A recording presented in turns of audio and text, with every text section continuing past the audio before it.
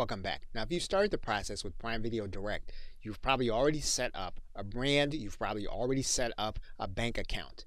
Now, there's quite possible that you may want to work with an individual that you want to have assist you with your account. However, you don't want them to have all information on all of your videos. And if that's the case, you can go to the top menu here and a little bit of this is blurred out, but you're going to go to this drop down menu and then you're going to click create another account. What you're going to notice right away is that this is the same license agreement that you agreed to when you set up your account initially. And what you can do then is then agree to this once more for the new account.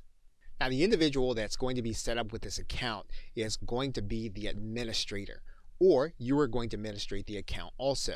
And you'll notice here that you're going to have to go through this same process, setting up the business account, setting up your payments, and then submitting your tax information.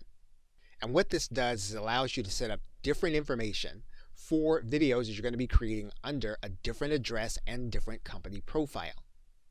And this separate brand will have its own dashboard, its own videos, own landing pages, and everything separate. Okay, so with that, thanks, and I will see you in another video.